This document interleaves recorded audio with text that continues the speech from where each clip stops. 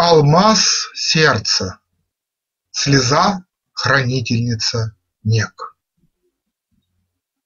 Однажды в Булонском лесу отчаянный русский пытался свести счеты с жизнью. Поздно вечером на самом краю пропасти юноша вскрыл вены.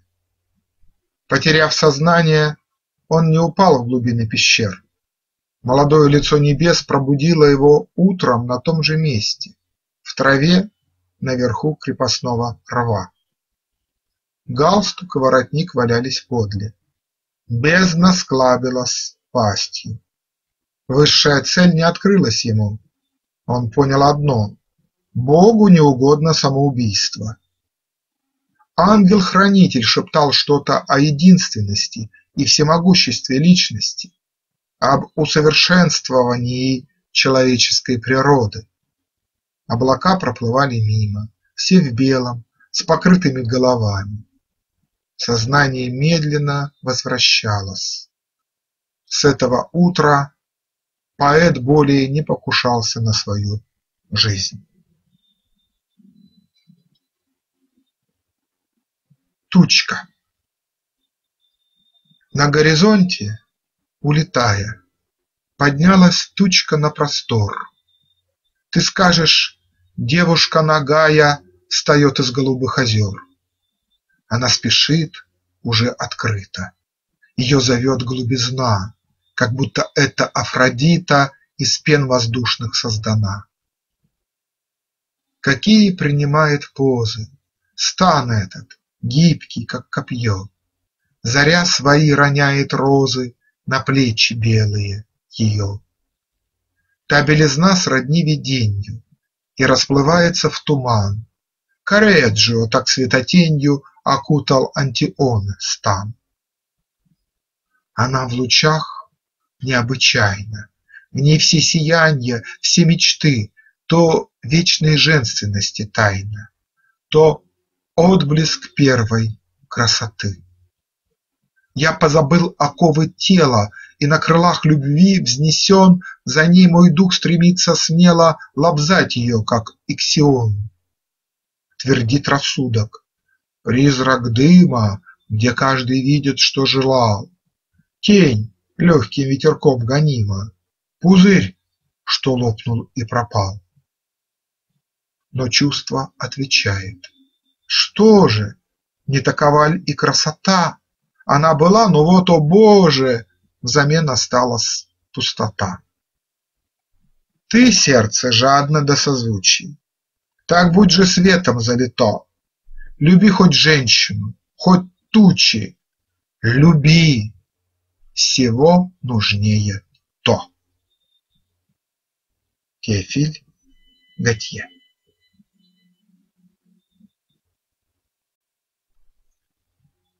В набросках учения о системе образов и шире о поэтике в целом, называемом автором по-научному весомо эйдолологией, находим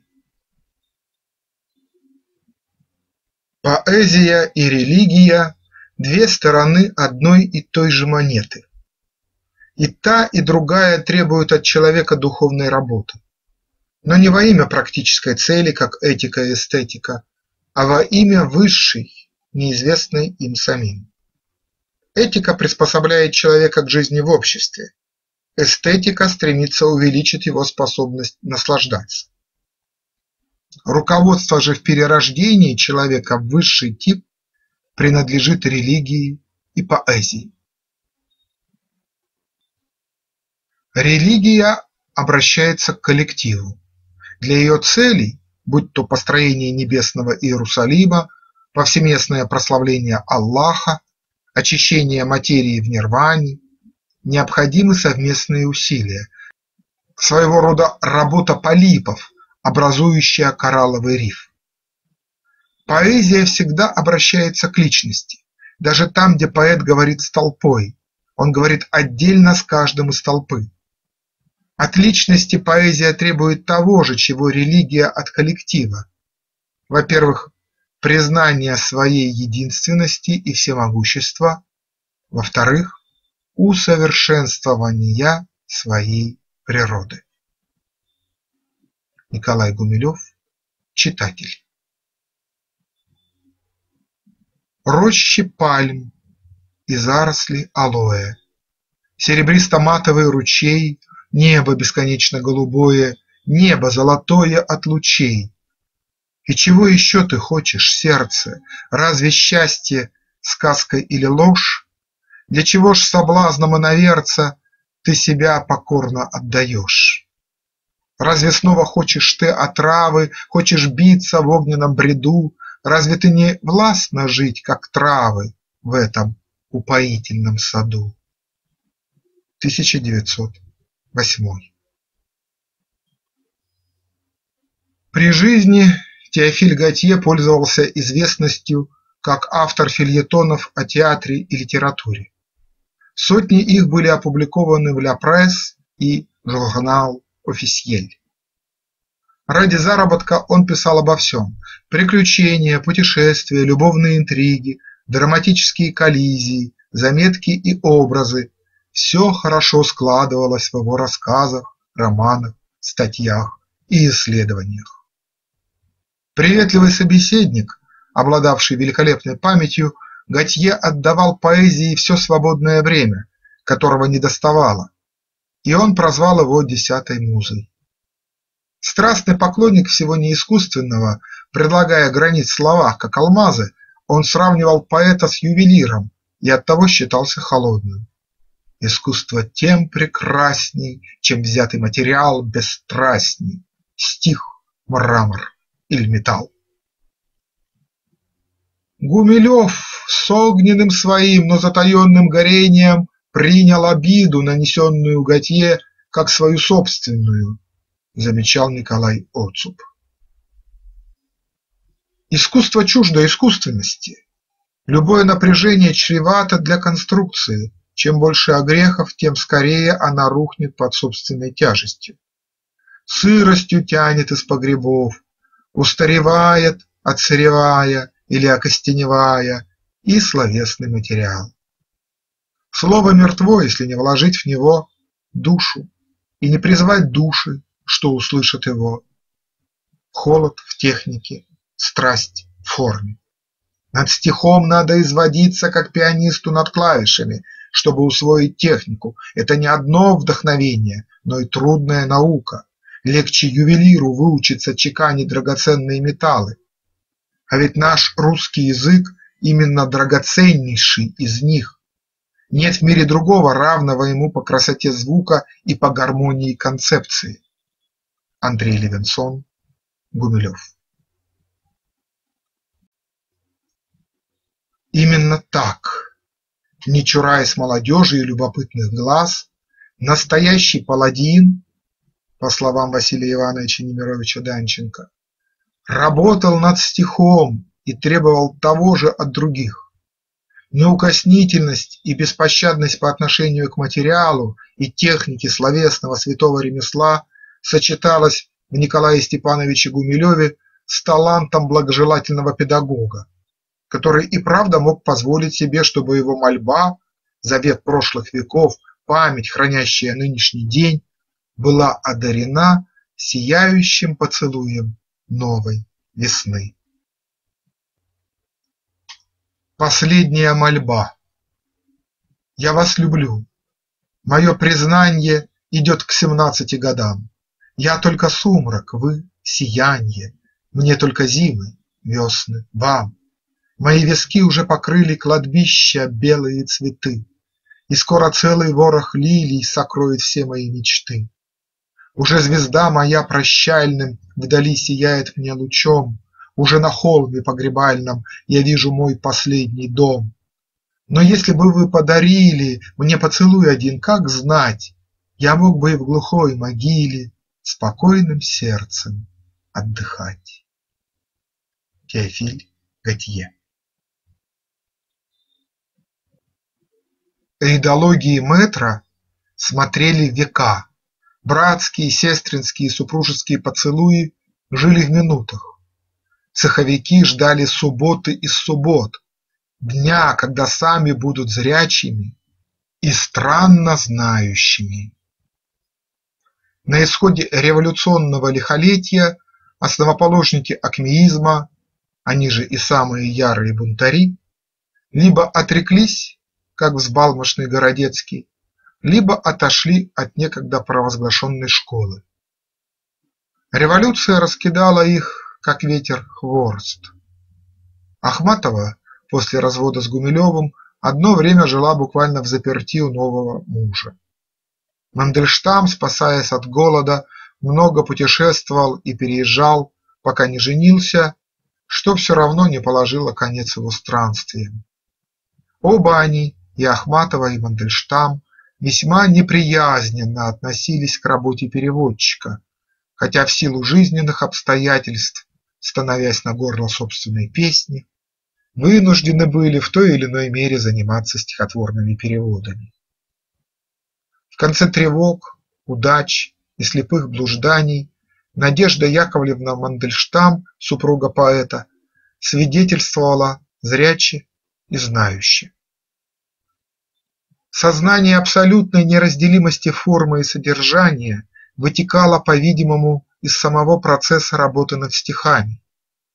Стихи зарождались благодаря единому импульсу, и погудка, звучавшая в ушах, уже заключала то, что мы называем содержание.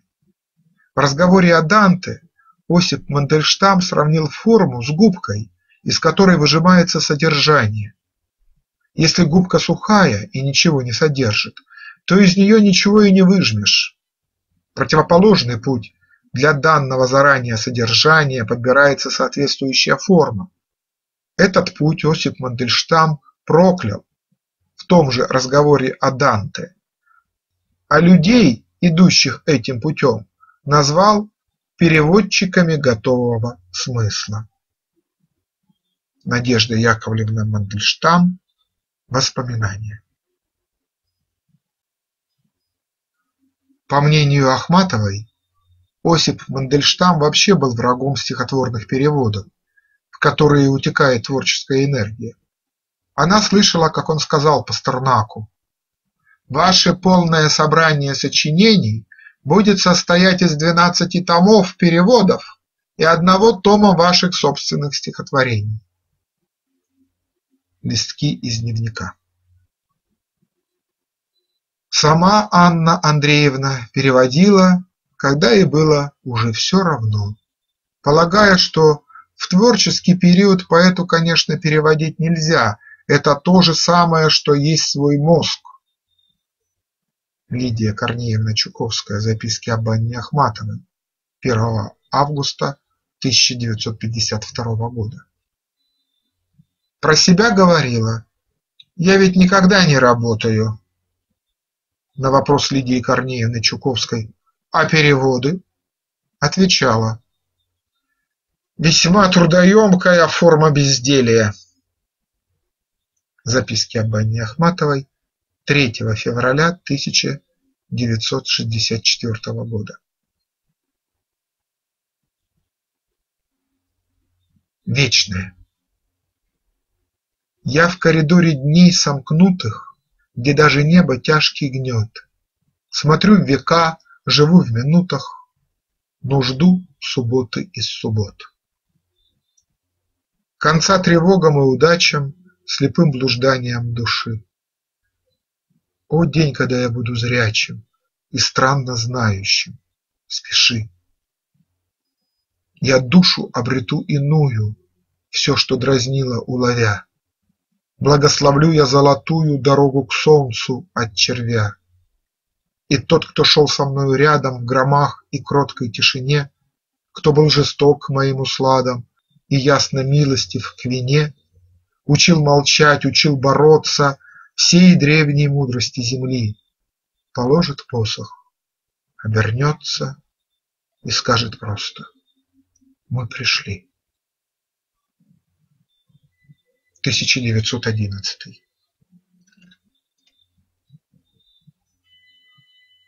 Под воздействием Гумилева начал переводить Готье и Всеволод Александрович Рождественский, секретарь Союза поэтов и один из младших акмеистов. Книжка избранных стихотворений Готье в его переводе вышла вскоре после гибели Гумилева.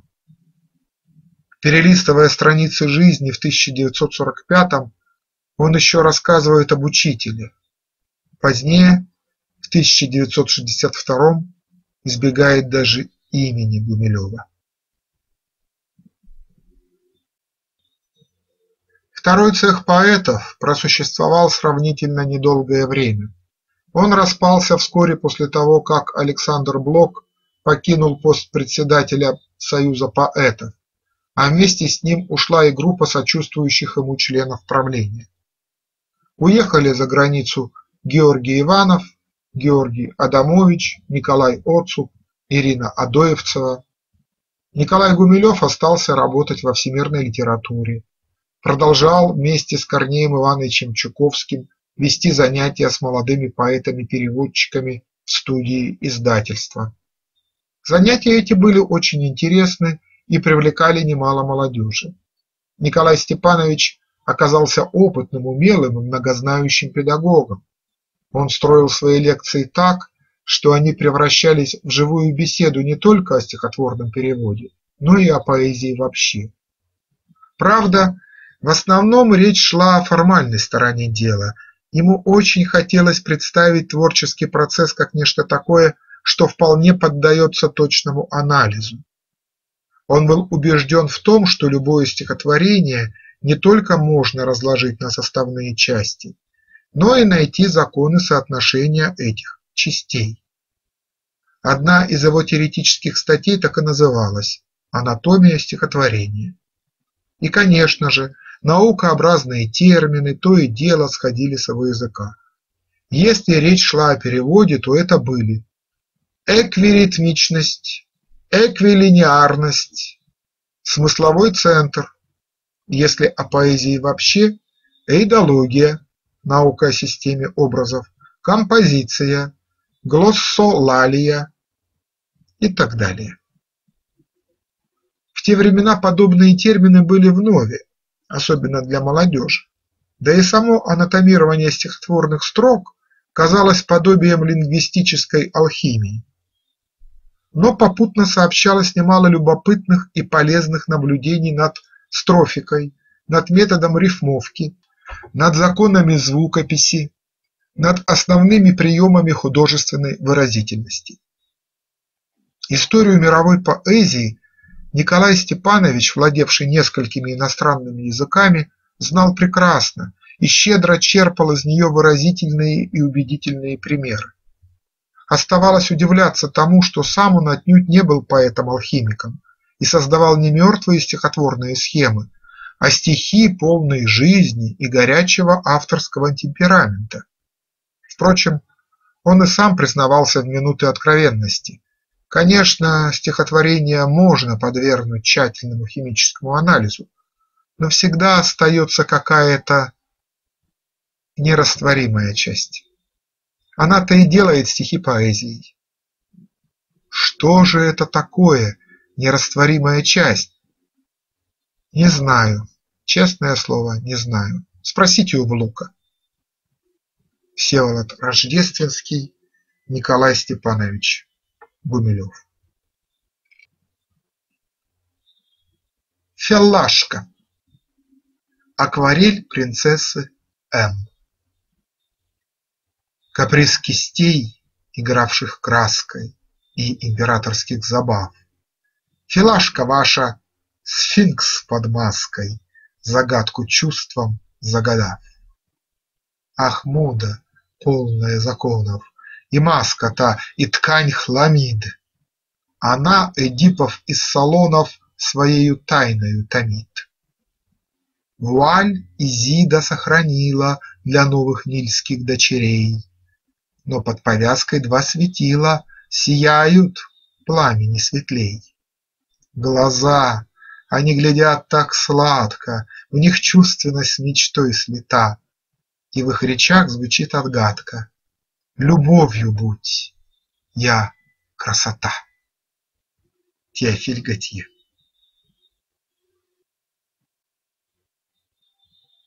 Академик Академии стиха у которого вряд ли отыщется хотя бы одно живое стихотворение, Вячеслав Иванович Иванов и редактор «Аполлона», третьестепенный лирик Сергей Константинович Маковский придерживались несколько иного мнения о Гумилеве. Мог ли при этом похвастать отменной грамотностью сам Маковский? История умалчивает. Особенно протестовал Вячеслав Иванов, авторитет для аполлоновцев непререкаемый. Сколько раз корил он меня за слабость к Николаю Степановичу, удивлялся, как мог я поручить ему письма о русской поэзии, иначе говоря, дать возможность вести в журнале свою линию. Ведь он глуп, говорил Вячеслав Иванов, да и плохо образован, даже университета окончить не мог языков не знает, мало начитан. В этом, несомненно, была правда. Гумилев любил книгу, и мысли его большую частью были книжные, но точными знаниями он не обладал ни в какой области, а язык знал только один – русский, да и то с запинкой, писал не без орфографических ошибок, не умел расставлять знаков препинания, приносил стихи и говорил, а запятые расставьте сами. По-французски кое-как понимал, но в своих переводах французов, например, Теофиля Готье, поражал иногда невероятными ляпсусами. Помню, принес он как-то один из своих переводов.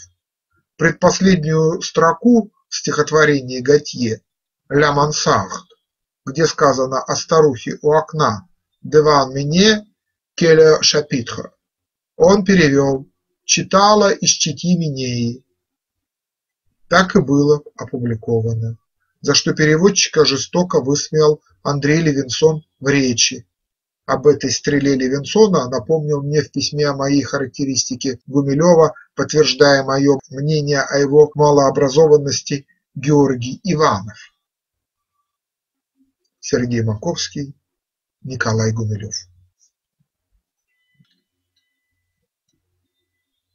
Иллюзия что один опыт может быть записан и передан при прочтении, а другой нужно непременно пережить самому, заразительно. Не успев удостовериться, смертелен ли цианид, скептик испускает дух. И что в таком случае жизненный опыт? Неусвоенные уроки, тройки в четверти, какие мысли книжные, или варварам снова пройтись по Риму, чтобы мы с гордостью могли заявить, что книжные мысли подтверждены практикой? Или каждые полвека повторять геноцид и все нравственные перипетии прошлого, чтобы следовать иллюзии, будто всякое знание требует экспериментальной проверки? Опытный, но неумудренный критик заверяет, что существуют точные знания, как ракеты с лазерным наведением, а те опять бьют мимо цели. Гордость ума, увы, знаки препинания, грамотность, калькуляция прибылей и убытков по разрядам и запятым. Только если пуста сокровищница на небесах, разве есть что спасать? Вы все паладины зеленого храма, Над пасмурным морем следившие румб, Гонзальво и Кук, Лаперус и Дегама, Мечтатель и царь, генуэзец Колумб. Ганон карфагенянин, князь Сенегамбий, Синбад-мореход и могучий Улис, О ваших победах гремят в дифирамбе Седые валы, набегая на мыс. А вы, королевские псы, флебустьеры, Хранившие золото в темном порту, Скитальцы-арабы, искатели веры, И первые люди на первом плоту.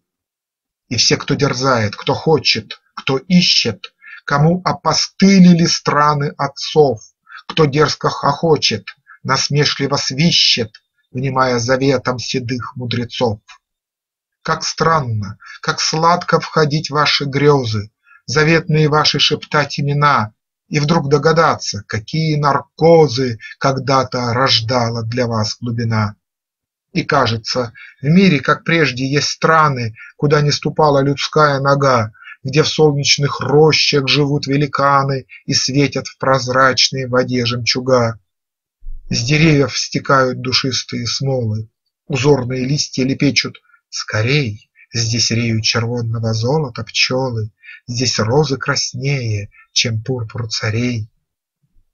И карлики с птицами спорят за гнезда, И нежен у девушек профиль лица, Как будто не все пересчитаны звезды, Как будто наш мир не открыт до конца.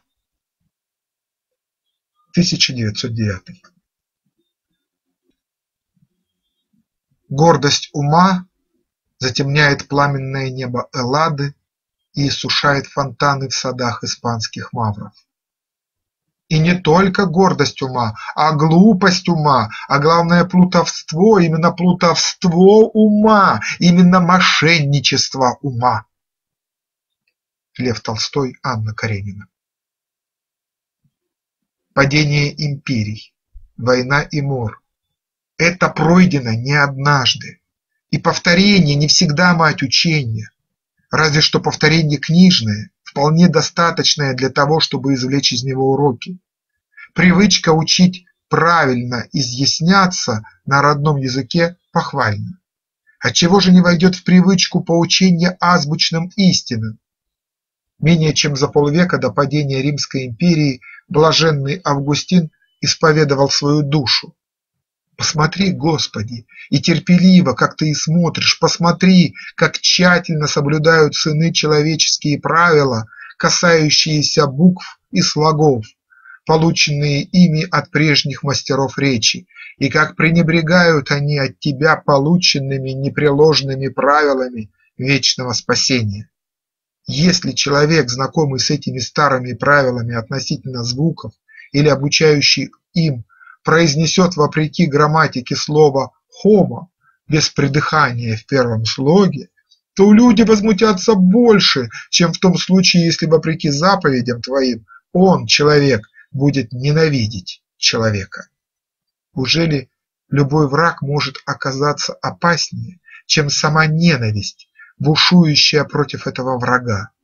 Можно ли, преследуя другого, погубить его страшнее, чем губит вражда собственное сердце?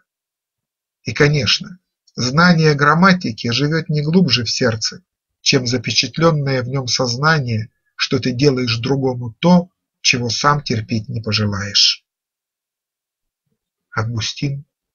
Исповедь.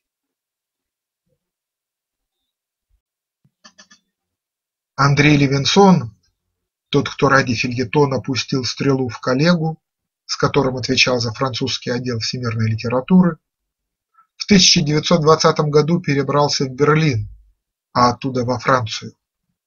В Париже 26 сентября 1921 года он принял участие в митинге протеста против красного террора. «Блаженны мертвые» – его первый отклик на гибель поэта. Если мы не можем помочь, надо хоть помнить. Позднее вполне искренне и серьезно Андрей Левинсон признавался в современных записках. Мне до ныне кажется лучшим памятником этой поры в жизни Гумилева бесценный перевод эмалей и камей, поистине чудо перевоплощения в облик любимого им Готье. Нельзя представить при коренной разнице в стихосложении французском и русском, в естественном ритме и артикуляции обоих языков более разительного впечатления тождественности обоих текстов. И не подумайте, что столь полной аналогии возможно достигнуть лишь обдуманностью и совершенством фактуры, выработанностью ремесла. Тут нужно постижение более глубокое, поэтическое братство с иноязычным стихотворцем. Андрей Левинсон, Гумилев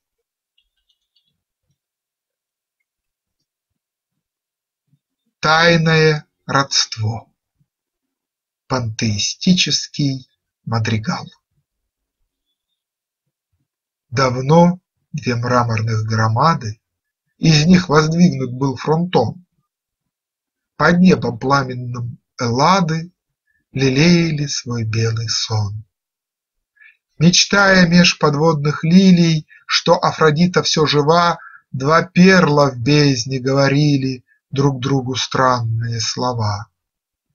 Среди садов Генералифа, Где бьют фонтаны с высоты, Две розы при дворе калифа Сплели между собой цветы. Венеции над куполами С ногами красными, как кровь, Два голубя спустились сами, Чтоб вечной стала их любовь. Голубка, мрамор, перл и розы Все погибают в свой черед.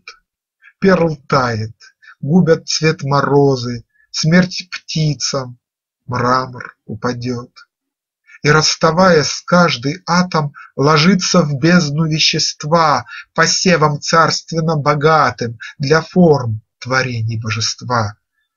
Но в превращениях незаметных Прекрасной плотью белый прах, А роза краской губ приветных В иных становятся телах. Голубки снова бьют крылами В сердцах, познавших мир утех. И перлы, ставшие зубами, Веселый освещают смех. Здесь зарожденье тех симпатий, Чей пыл и нежен, и остер, Чтоб души чутки к благодати Друг в друге встретили сестер. Покорный сладким ароматом, Зовущим краскам или лучам, Все к этому стремится атом, Как жадная пчела к цветам. И вспоминаются мечтанья Там на фронтоне или в волнах Давно увядшие признания Перед фонтанами в садах. Над куполами белые птицы И взмахи крыльев, и любовь, И вот покорные частицы Друг друга ищут, любят вновь, Любовь, как прежде, стала бурной, В тумане прошлое встает, И на губах цветок пурпурный Себя, как прежде, узнает. В зубах отливом перламутра Сияют перлы вечно теж, И кожа девушек в час утра Старинный мрамор, юн и свеж. Голубка вновь находит голос, Страдания эхо своего, И как бы сердце ни боролось, Пришелец победит его. Вы, странных полное предвестий, Какой фронтон, какой поток, Сад иль собор нас вместе, Голубку, мрамор, перл, цветок. Теофиль Готье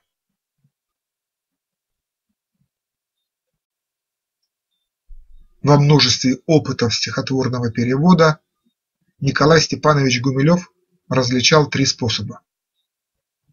При первом переводчик пользуется случайно пришедшим ему в голову размером и сочетанием рифм, своим собственным словарем, часто чуждым автору, по личному усмотрению то удлиняет, то сокращает подлинник, ясно, что такой перевод можно назвать только любительским.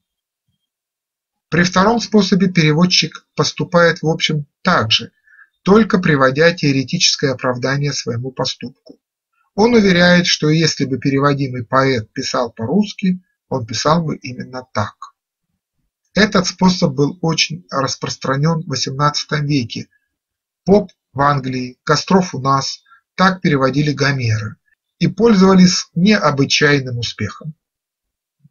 XIX век отверг этот способ, но следы его сохранились до наших дней, и теперь еще некоторые думают, что можно заменять один размер другим, например, шестистопный пятистопным, отказываться от рифм, вводить новые образы и так далее. Сохраненный дух должен оправдать все. Однако поэт, достойный этого имени, пользуется именно формой, как единственным средством выразить дух. Николай Гумилев о стихотворных переводах. Именно формой. Ведь стихотворение – это прежде всего мысль, а поэзия – форма, то, что содержит. Мысль, высказанная в образе, мысль, вдохновленная чувством, будоражащим и непосредственно предшествующим написанию стихотворений. Ведь поэт не экспериментирует с материалом, и не выдвигает концепции, как это может показаться в некоторых случаях. Посредством слова он расточает алмазы, яхонты, рубины, накопленные душой и ограненные сердцем. Страсть не в материале и не в технике исполнения. Наоборот, они-то как раз требуют ясного ума и твердой руки. Страсть в самой форме, как в ассимиляции с нравами и обычаями страны наслаждения путешествием.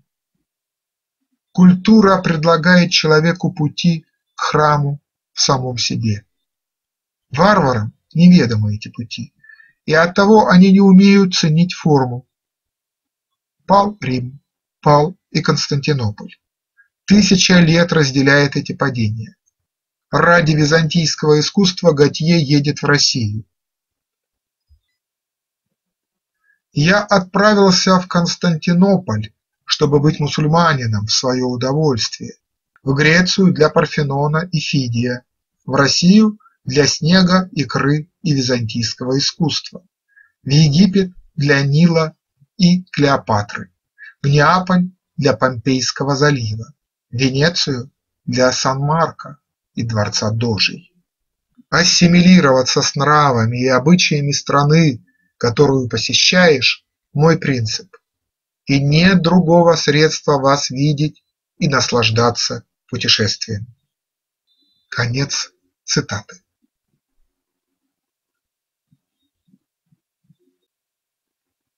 Алмаз сердца Хранит подарок милой каждый влюбленный, Сердце ли в столе, его лаская с острой жаждой В часы надежд или в горькой мгле. Один, ах, все влюбленный смеет, Улыбкой светлой ободрен, Взял прядь волос, что голубеет Чернее, чем крыла ворон. Другой отрезал нежный локон На шее, что сумел склонить, Волнистый, мягкий, словно кокон, Прядущий шелковую нить. А третий вспоминает сладко Про ящик, гроб своей тоски, Где скрыта белая перчатка Для всякой узкой руки. Тот прячет пармские фиалки В благоуханное саше, Подарок свежий, ныне жалкий, Чтоб нежность сохранять в душе. А этот милой Сандрильоной Потерянную туфлю чтит, А тот еще, как старь влюбленный, Вздох в маске кружевной хранит. Нет у меня блестящей пряди, Цветов, перчатки, башмачка, Но есть зато в моей тетради Слеза средь одного листка. То капелька росы мгновенной, Как небо голубых очей, То драгоценность, жемчуг пенный, Растаявший в любви моей. И как сокровище Афира Мне блещет темное пятно, Алмазом светлым из сапфира С бумаги синей взнесено. Я помню, как упала эта слеза хранительница нек На строчку моего сонета Из глаз не плакавших вовек. Теофиль Готье Эмали и камеи в переводе Николая Гумилева увидели свет в издательстве Попова в 1914 году. В конце 1910-х годов всемирная литература тоже приступила к подготовке публикации сочинений Теофиля Готье, но до печати дело так и не дошло. Предисловие к неизданной книге Николай Степанович заключил так. Позже, когда французская поэзия разделилась на два рукава, с одной стороны в журнале «Парнассов» «Современный Парнасс» В первом же номере и на первом месте были напечатаны стихи Готье, а с другой «Цветы зла» Бодлера, книга, положившая, по мнению многих, основания символизма, были посвящены безгрешному поэту, совершенному волшебнику французского слова Теофилю Готье. Только Верлен своей проповедью милого, вольного, несовершенного искусства заставил французских поэтов несколько позабыть того, кто и имел все права быть их учителем. культ Теофиля Готье переходит в Англию, и там культивируется Свинберном и особенно Оскаром Уайльдом. В Германии его влияние можно было бы проследить на Стефане Георге. В России стихи Теофиля Готье переводились крайне редко, и самое имя его было мало известно. Однако когда в 1914 году вышел полный перевод Эмалий и Камей, он был принят чрезвычайно благосклонно и критикой, и публикой, что, конечно, указывает на роль, которую Теофилю Готье суждено сыграть в деле развития русской поэзии. Конец цитаты. После фельетона Ах, ни одной колонной черной мой вытянулся фельетон, И украшает он покорно газеты тягостный фронтон. Свобода! Я не разбираю мертворожденных пьес теперь, Я на неделю запираю мою пред вашим носом дверь, И нити мелодрамы новой не будут путаться опять Меж нитей шелковой основы, которую хочу я ткать. Вновь голоса души природы звучат чисты и глубоки, Зато куплеты, дети моды, свои припрятали звонки. И обретя в моем стакане здоровье, цветшее давно, Я в обществе былых мечтаний мое испробую вино. Вино, где мысль моя сияла, и нет чужого ничего, Что жизнь, работник, выжимала из гроздей сердца моего. Теофиль Готье